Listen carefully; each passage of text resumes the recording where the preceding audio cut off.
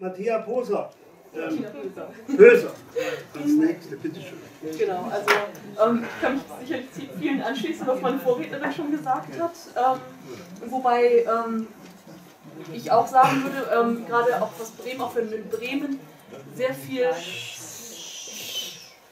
auch wenn es in Bremen sehr viele Arbeitsplätze im Bereich der Rüstungsindustrie gibt, äh, kann Ziel sein, Erhalt von Arbeitsplätzen um jeden Preis, egal ohne Ansehung, was dort produziert wird. Wir haben in Bremen in den letzten Jahrzehnten auch in sehr vielen positiven Sparten ein, ein, viele Arbeitsplätze verloren. Ich denke irgendwie nur an den Hafenbereich, ähm, wo früher noch unheimlich viele Leute beschäftigt waren. Da hat auch keiner gesagt, ähm, wir müssen auf jeden Fall das erhalten, wir müssen es halt sozial abfedern, wenn es halt nicht anders geht.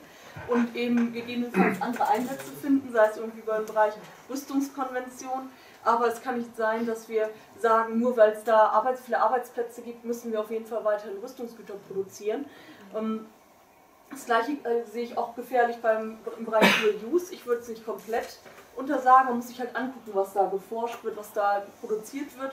Letzten Endes kann fast alles, was man, äh, was man hat, ähm, als Dual Use gut eingesetzt werden. Wenn ich einen Baseballschläger habe, kann ich damit Baseball spielen, aber ich kann damit auch jemandem einen über die Rübe geben. Das wäre im Prinzip auch ein Dual Use gut, wenn ich letzten Endes äh, alles, was äh, letzten auch als, als Waffe eingesetzt werden kann, verbieten würde, dann hätten wir, äh, dann könnte man fast gar nichts mehr produzieren. Ich könnte auch jemandem die Kaffeemaschine an den Kopf werfen oder so.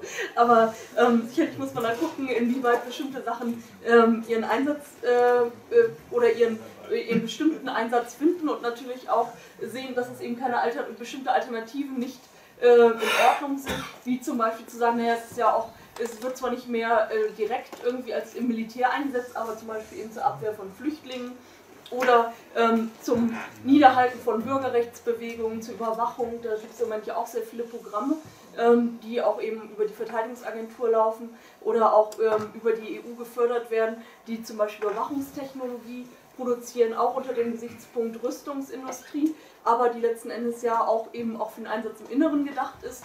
Ähm, man kann es auch in Bremen sehen, zum Beispiel, ich glaube, es war in Schwanewede, wo ja auch äh, für das Militär neue Einsatzgebiete gesucht wurden, wo auch gesagt wurde, ähm, die Soldaten dort können ja zukünftig auch im Innern eingesetzt werden. Ähm, das sehe ich sehr kritisch. Ähm, man kann halt nicht ähm, eine quasi Konversion zu ähm, an Militäreinsätzen nach außen zu Militäreinsätzen im Inneren machen. Also das würde ich jetzt grundsätzlich ablehnen. auch EU-weit nicht.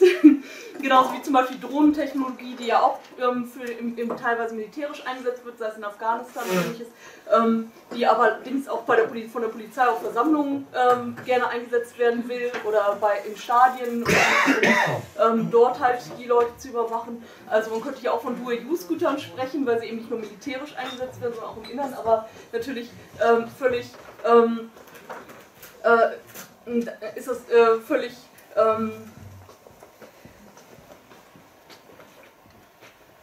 jetzt komme ich nicht aufs Wort, egal.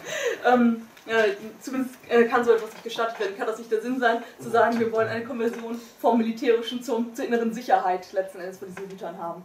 Ähm, das wäre jetzt quasi sozusagen so ein bisschen die Bestandsaufnahme. Das Problem, das hier auch schon angerissen wurde, was das Europäische Parlament eigentlich tun kann, oder wir als Parlamentarier später, ist, dass die, äh, das Europäische Parlament bisher sehr wenig Einfluss hat im Bereich Außen- und Sicherheitspolitik. Das wird bisher prägend vom Rat bestimmt. Äh, das Parlament kann Empfehlungen geben, Anfragen stellen, die mal einen Bericht vorgestellt und ähm, es steht sowas drin wie, es soll irgendwie berücksichtigt werden, was die an Stellungnahmen abgeben, aber die haben kein Mitbestimmungsrecht. Initiativrecht hat das Parlament ja sowieso leider überhaupt nicht. Das heißt, wir können überhaupt keine Initiativen im Parlament starten, die irgendwelche Sachen bewegen. Wir können nur reagieren auf das, was kommt letzten Endes. Ähm, ich denke auch, da ist hauptsächlich eben, äh, sind die Möglichkeit eben transparent zu machen, was passiert da. Und ähm, zum Beispiel, äh, hier wurde ja schon gesagt, ähm, wir, so wie in Deutschland viele ähm, Kleinwaffen ausgeführt werden, die sind häufig nicht gekennzeichnet, ich weiß nicht, wohin das, diese Waffen überhaupt gehen. Ähm, das so auch in Deutschland das Kriegswaffenkontrollgesetz ähm, gilt halt ja nur für größere Waffen, gilt halt nicht für kleine Waffen. Da kann man ja. überhaupt. Doch. Ja, aber die Kennzeichnungspflicht nicht. die, äh, die fälschungssichere, soweit ich weiß. und so dass man nicht, nicht unbedingt nachvollziehen kann, aus welchem Land diese Waffen kommen. Ähm, dann, ähm, was ich heute gerade gelesen habe, was ich sehr spannend fand, zum Beispiel ist, dass Deutschland jetzt angefangen hat, die Ab den Tatbestand Abgeordnetenbestechung und die ähm, äh, anzupassen, aber mit, einer, mit der Ausnahme, dass es ein kein ungerechtfertigter Vorteil wäre, wenn man Spenden annimmt, ähm, dafür, dass man bestimmte Maßnahmen im Parlament vornimmt. Also das würde jetzt nicht unter Abgeordnetenbestechung fallen. Ähm, fand ich sehr spannend, dass das jetzt so drinsteht. Vorher konnte man wenigstens auch sagen, naja, die Abgeordneten haben diesen Paragraph nicht ändern wollen, weil sowas passiert sowieso nicht. Mm, aber jetzt haben sie es ausdrücklich aufgenommen, dass das zukünftig auch gar nicht strafbar sein soll, wenn sie das machen. Da würde ich, äh, würden wir uns auf jeden Fall vor einsetzen, dass solche Sachen natürlich nicht stattfinden können. Und dass natürlich auch solche Lobby-Einflüsse in Brüssel hat man ja massenweise Lobbyisten, auch gerade auch aus der Rüstungsindustrie, die versuchen Einfluss zu nehmen, die versuchen überall ähm, quasi auf die EU-Abgeordneten einzuwirken oder auch auf andere Leute, die von relevant sind, ähm, dass man dort halt solche Sachen veröffentlicht ähm, und ähm, sie eben nicht einfach im Dunkeln äh, dort agieren lässt, es sollte ein verpflichtendes Lobbyregister geben. Bisher ist es freiwillig, sich dort einzutragen. Ein Teil der ähm, Abgeordneten, der Lobbyisten hat sich dort eingetragen, ein Teil auch nicht. Ähm, kann man sich denken, welche sich da nicht eintragen. Dann sehe ich natürlich auch ähm, generell ähm, sehen wir halt auch, ist sehr kritisch, Rüstungsexporte ähm, wollen wir auch gerne verbieten, zumindest in alle Länder außerhalb der EU. Also, weil man dort halt einfach nicht gewährleisten kann, was da passiert. Ähm, man kann heute noch ein, quasi ein stabiler Staat, sicheres Drittland und so weiter sein, ähm, genannt werden und morgen ist da ein Bürgerkrieg und dann finden, haben wir wieder deutsche Waffen irgendwo im Einsatz. Also, ähm, das halten wir für nicht ähm, sinnvoll. Innerhalb der EU hat man immerhin noch eine gemeinsame äh, Parlament, eine gemeinsame Regierung, wo man zumindest intern äh, theoretisch Einfluss nehmen kann aufeinander. Ähm, wir sind im Moment noch gegen eine europäische Armee, also auch, ein, auch wenn ich das grundsätzlich langfristig befürworten würde, dass man eben nicht mehr Nationalstaaten hat, die eine komplette Armee haben, sondern das verteilt über Europa äh, eben bestimmte äh, Spezial, äh, Spezialeinheiten gibt. Das würde auch sicherlich die Kriegsgefahr in Europa reduzieren. Wenn einer nur Marine hat, kann er damit irgendwo nicht mehr ähm, in einem anderen europäischen Land einmarschieren.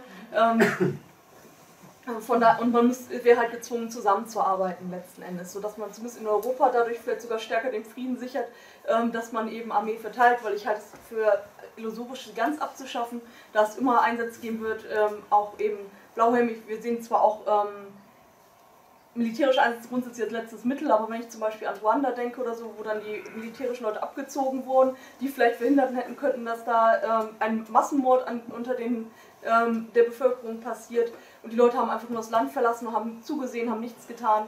Ähm, das kann letzten Endes ja auch nicht die Konsequenz sein. Zumindest in solchen Fällen muss es halt auch möglich sein, dass man versucht, dort ähm, sich schützend vor die Leute zu stellen. Und das kann man eben nicht komplett ohne Waffen tun, denke ich, weil das wird nicht berücksichtigt werden. Aber grundsätzlich halten wir immer auch äh, eine zivile Intervention für wichtig, ich, kein, weil Kriege, äh, kriegerische Einsätze normalerweise so einen Konflikt immer nur aufschaukeln und daher kein ähm, kein probates Mittel zur Konfliktlösung grundsätzlich darstellen.